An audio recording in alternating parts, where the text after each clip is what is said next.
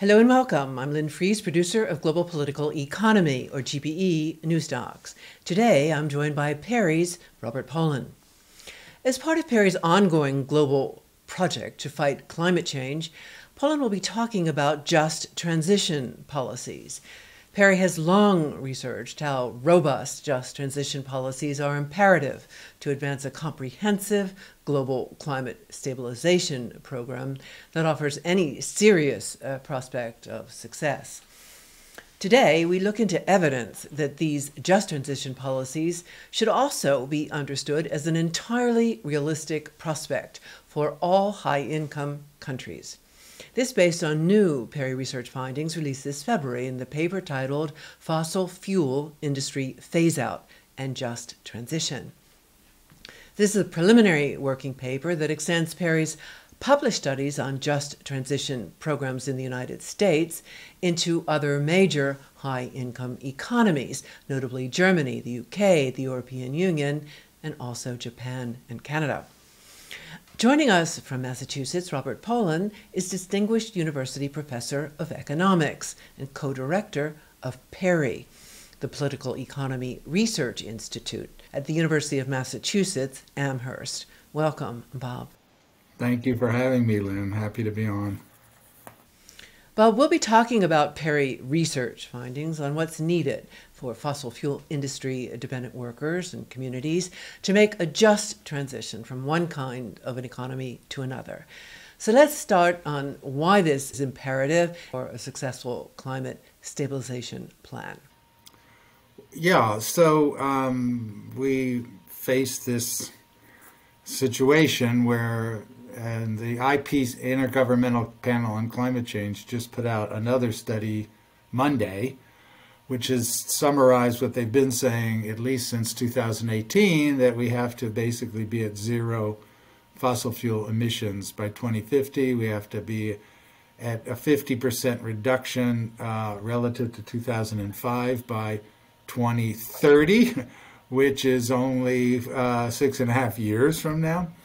Uh, now, that means uh, we have to dramatically reduce uh, consumption of oil, coal, and natural gas to produce energy, and by 2050, phase it out basically entirely. Um, so that is uh, an imperative with respect to the climate crisis. Now, it obviously impacts uh, a lot of different entities, organizations, governments, people, communities. So, uh, one of the big factors here is that there are people, not just rich shareholders of, of the fossil fuel companies or oil sheiks, uh, it, there are ordinary people whose lives and communities are currently dependent on the fossil fuel industry.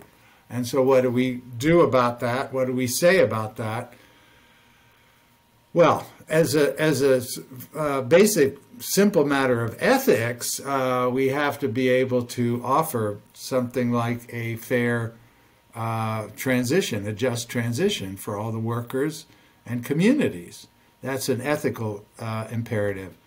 But even if you have no ethics, even if you don't care at all about the people that are currently dependent on the fossil fuel industry and the communities, there's no way politically we can advance a robust and adequate fossil fuel phase out, a, in other words, a adequate climate stabilization program, unless we do something to address the needs of this community and these people, because justifiably they're going to put up political resistance.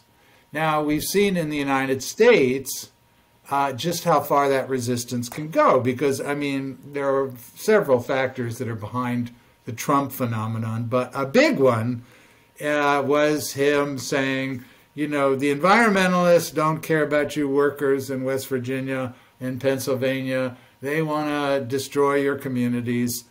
And uh, whether that's true or not, it had a lot of resonance. And uh, so it is absolutely as just a mere political reality, we have to show that if we're going to phase out fossil fuels to save the planet, which we have to, we also have to uh, mount a vigorous, robust, just transition for the workers and communities whose jobs are going to get phased out. So, in discussing what's needed for a just transition, you say in the paper that the first questions we need to ask are what should be the overall goal of just transition policies? And then the next question should be what specific measures need to be implemented to accomplish that. So, briefly comment on that. So, just transition policies have been around in various forms for a long time. Uh, this particular paper focuses on uh, high income countries. I've done work, uh, you know, in developing countries as well, and but this one is focused on high income countries. Um, so we have had uh, phase out programs. Uh, maybe the the most advanced have been in Germany for decades because of the coal, uh, the phase out of the coal industry in Germany. Uh, the United Kingdom has phased out its coal industry without doing a whole lot for the workers. In the United States, we've had uh, just transition or transition, let's say, policies uh, around uh, the workers who are impacted by changes in trade policy, opening of free trade. And for the most part, uh, those policies have been minimal. Uh, they have not provided any significant support. In fact, in the U.S., uh, the what are called transition policies officially, unofficially by union members are called burial insurance. Uh, in other words, here, go off and die. Here's a few thousand dollars. Uh, and that is generally uh, what has been provided to date, including in Germany, though somewhat better. So the, those policies have really uh, focused on uh, providing um, retraining to get for other jobs. Uh, they provided, you know, some minimal level of job placement support to find a new job, some modest level of um, relocation support if people have to move to get another job. And that's basically it. Uh, and even uh, the European Union, with their Green Deal, has, uh, at least in rhetoric, uh, made very strong statements as to the significance, the centrality of just transition policies. Uh, Frans Timmermans, the uh, vice chair of the European um, Commission. He himself says, you know, dress transitions are central. We need everybody's support for this movement out of fossil fuels.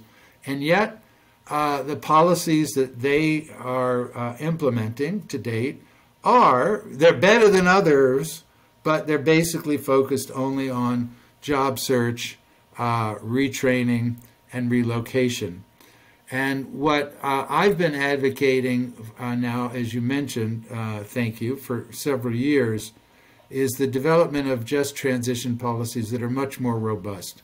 And it includes simple things, not just job retraining, but a job guarantee. Um, and not just any old job, but the jobs will pay, uh, at least for a few years, uh, the the difference between any salary loss that a worker will have faced.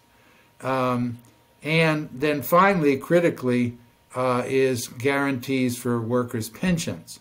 Because if we're phasing out this industry, obviously uh, these companies are facing uh, financial challenges, and we cannot assume that the first thing that they're going to do is guarantee their workers' pensions.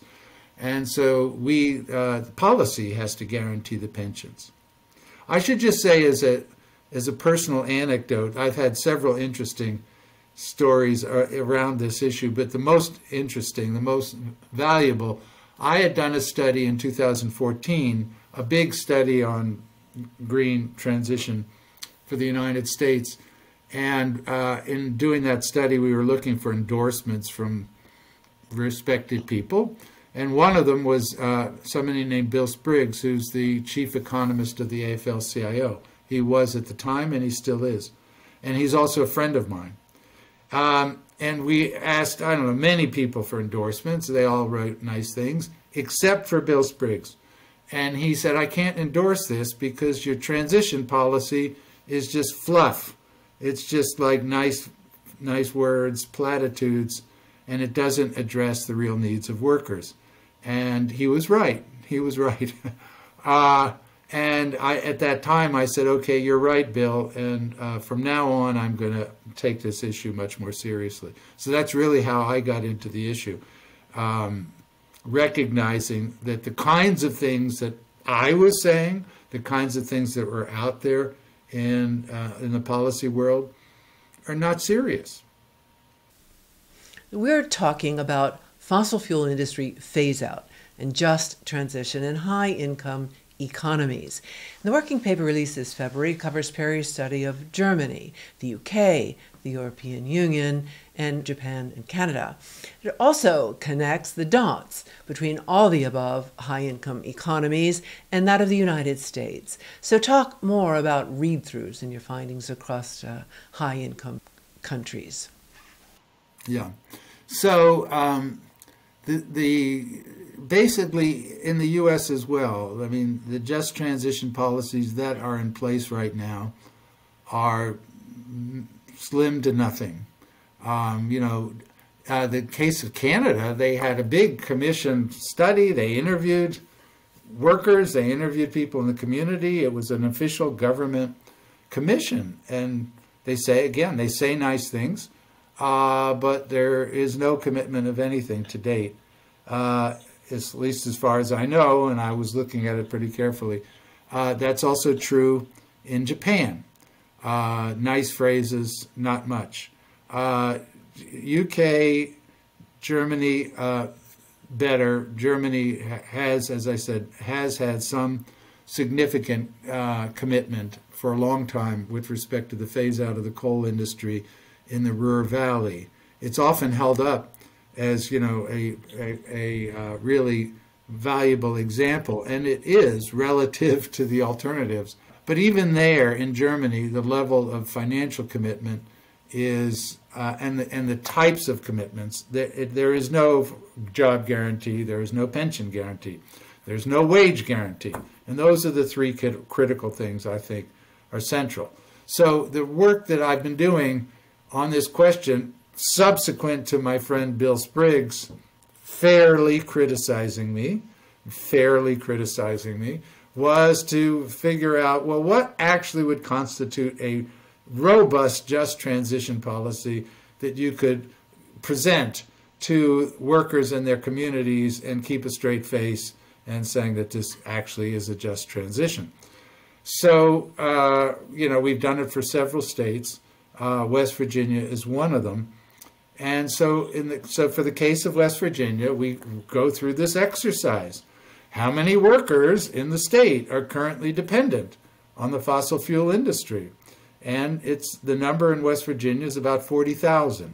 And that not not just coal miners, but people in the coal industry, everyone in the fossil fuel in the oil and gas industry, plus everyone in ancillary sectors, anything to do that are feeding into these uh, coal and oil and gas uh, production. So that's 40,000 people. Uh, so then we say, well, okay, 40,000 people, then what does a realistic phase out look like for those 40,000 people if we assume by 2050 all their jobs are going to be gone? But it's critical that not all of their jobs are going to be gone tomorrow. They're going to be gone over a generation, basically, by 2050. So, you know, when we calculate the rate of annual job loss and incorporate the demographics of the age levels of the workers, so we are able to um, take account of voluntary retirements, what we're really looking at is about 1,400 workers per year who are uh, going to lose their jobs and want another job. And so the focus of the study uh, then is okay, we're going to give these people, uh, guarantee them a new job, guarantee them a wage equivalent to what they're making now, and guarantee their pensions. And in addition to the other thing, I'm not against helping people with job search, retraining, or relocation. It's just those should be seen as supplemental to yes, you will have a job. Yes, you will not face a significant income loss. And yes, you will not lose your pension. That's the critical things. So uh, we do all that and we take account of these workers and how much they're making now. We also we also do this as part of a, a green transition in West Virginia, and we say, well, yes, and, and West Virginia is going to be getting investments to build a clean energy economy, and that's going to create jobs. And we estimate that that will create 25,000 jobs in the state. Meanwhile, we're losing about 1,400 jobs in the state. So, one simple way to think about a transition is well, as many as possible, move people from the fossil from the fossil fuel industry into the emerging nascent green energy industry. And so then we did all that and we said, okay, you know what? It's going to cost about $40,000 per year per worker to do everything. And that ends up being, when we add it up for the 1,400 workers per year, uh, it ends up being equal to about 0.2% of the GDP of, of West Virginia. And this is the most fossil fuel dependent region in the country. So it's 0.2%. When I've done the same exercise for the whole United States, the cost as a share of the overall economy, as a share of GDP, is one tenth that of West Virginia, 0.002%. Uh, yeah, two one hundredths of 1%. So this is uh, eminently affordable, uh, even in West Virginia. Uh, you know, the West Virginia is the test case because the costs proportionally will be higher. Um, anyway, so th those are the main results. And so the point that we conclude with is this just transition, uh, a robust just transition, is viable and it is the ethical right thing to do. I should note for viewers that the U.S. findings you refer to are based on studies of just transition programs PERI's published for the U.S. states of California, West Virginia, Pennsylvania, Ohio, Maine, Colorado, Washington State, and New York State. So the West Virginia study is one of a series that PERI has published on eight states and on the U.S. economy overall. In this paper released this February, the West Virginia Just Transition Program features prominently as a case study drawn from PERI's research findings. Why so much focus on West Virginia? It's like if you can tell a story that's reasonable for West Virginia, you can tell a story basically for any place. Uh, you know, as I said, you know, thinking about, say, Trump, you know, Trump got 70% of the votes in West Virginia uh, in 2016 and again in 2020, 67%. Um, and a lot of his appeal is, you know, he's against all these environmentalists that want to take away our jobs. Um, so, how can we tell a story that is convincing, that is, you know, really uh, credible for the workers and the communities in West Virginia? And that really was our aim. And I think, you know, who knows in the end. But we did have success in the sense that we did um, present this in accordance with the the mine workers union and the overall leadership of the union movement, AFL-CIO in the state.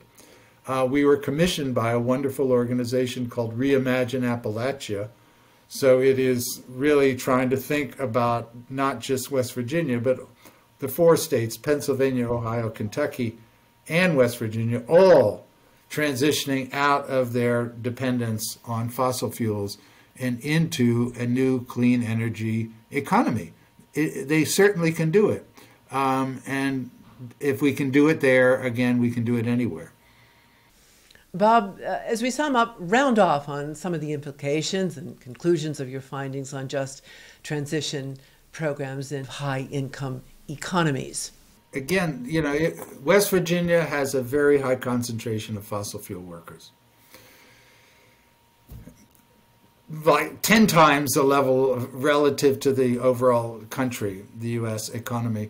And so, again, uh, the implication is actually analytically, financially, it is easy to do a robust, fair transition that is not, quote, burial insurance. That, that it is treating people with respect, understanding that their livelihoods are dependent. This is not the same as if you're a shareholder of a fossil fuel company. If you're a shareholder of a fossil fuel company and you know the company is going to be phased out, well, sell your shares and buy something else. Uh, and uh, the fossil fuel companies uh, last year made $200 billion, the sixth biggest. Uh, so it's a fine time to sell um, and recognize that this is going to be a phase out and it's not going to affect your home, it's not going to affect your pension, it's not going to affect anything about your life if you're a shareholder of one of these companies. On the other hand, if you're a worker and this is your full time job, or you're a member of the community, let's say you're a school teacher in a community whose tax revenue is dependent on fossil fuels, you know, this is massive. Uh, your livelihood, your community is, you know, is facing uh, a threatening of uh, ending all the things that you're used to. And that this has to be seen as a front and center critical feature of any overall um, climate program. Uh, you know, the, it, yes, we obviously have to think about how we get off of fossil fuels. We have to think about how we stop uh, destroying the Amazon rainforest. Uh, those are good starters, but an equally important starter is to think about the workers and communities who are going to be face major negative impacts unless there is a just transition program. This then brings us back to the point you made at the open of our conversation on why just transition programs are so imperative, not only on ethical grounds, but for achieving the level of political support needed to move onto a viable global climate stabilization path. In other words, uh, for achieving the political support to phase out the burning of fossil fuels to produce energy and to replace uh, the global fossil fuel energy infrastructure with a zero emission, renewables dominant infrastructure. It is a major, major challenge. I mean, we've seen what happened even with the Biden administration, which overall, in my opinion, has been better on these issues than I would have thought they were going to be but they did a major backsliding just this past uh, week or last week when they uh, agreed to allow the development of the oil exploration in Alaska on public land, which they, you know, Biden had said, no way, I'm never going to do this. Well, somehow now he's doing it. So uh, obviously he was intensively lobbied, um, and we have to be able to fight back. And one of the tools for fighting back is to say to the workers and their communities, uh, you know, this is a program, a just transition program for you, uh, and that you do not face a this loss of income, employment, pensions that would be devastating for people's livelihoods. Among other corporate tactics to block the phasing out of the fossil fuel industry, we see the financing card get played. The argument being, in the case of uh, a just transition, that, oh, we can't afford it. So, for high income countries, this study tables evidence that effectively shows that argument just does not hold water. Is that a key takeaway? That is the key takeaway. I mean, again, I think a lot of people say yes, definitely, just transition. We're all for it. You know, as I said, you know, Frans Timmermans uh, made that quite explicit, and in the documents of the of the European Green Deal, it's it's all in there now. That's that is a new development, but it's in there. Um, but the point is, what does it really mean?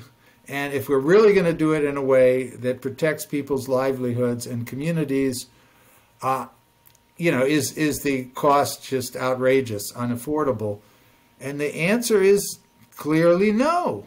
Again, if you can do it in West Virginia, you can do it in Canada, you can do it in the UK, and if we're talking about, you know, in the US overall, two one hundredths of one percent of GDP, it's you don't even notice it.